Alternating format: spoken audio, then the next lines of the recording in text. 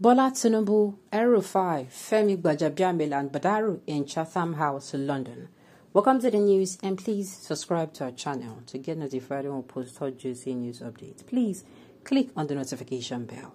His Excellency, the former Executive Governor of Lagos State and the All Progressives Congress presidential candidate Bola Tinubu was spotted alongside Governor El-Rufai Badaru in London. It was gathered that the gentlemen just ended a strategic meeting at the Chatham House in the United Kingdom. During the meeting, Mr. Tinubu said the All Progressive Congress need to work towards uniting the party stakeholders across the country. He added that Nigeria needs a vibrant leader who can tackle the issue of insecurity and provide jobs for graduates in order to reduce the rate of poverty. Mr. Tinubu urged the All Progressive Congress governors to embark on promoting the party in their respective states. According to him, this will assist them in winning the upcoming general elections, all in the 36 states in Nigeria.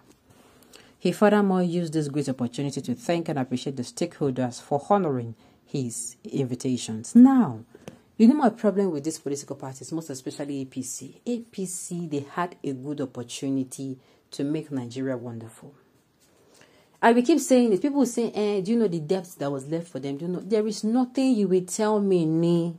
Do you know, apart from let's leave debt aside? Yes, we know that PDP, they messed up, but APC, ha, APC, they, I know, then they messed up. They messed up. And do you know why? They came in with favoritism, um, ethnicism, tribalism, and religious bigotry.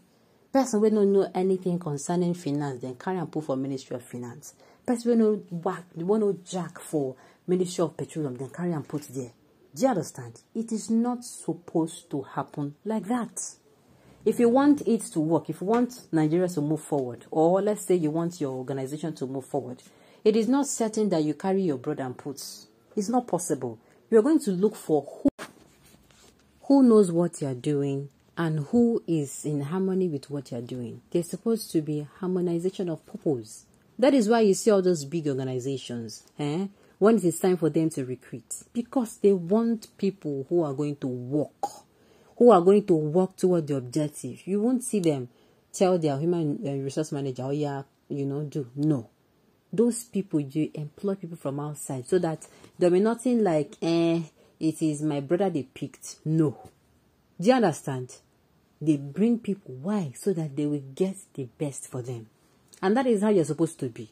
Eh, make your brother the best for you now. So far, say Nigerians work, Nigerians go support you, say make you they go.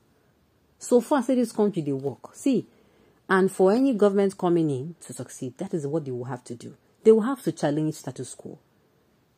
Many people will lose their jobs. Be saying I've lied. Be saying no jokes. Just like um, the PDP man, I don't know if what he's doing is for the best though. I don't know. It is still too early to say what he's doing is right or wrong.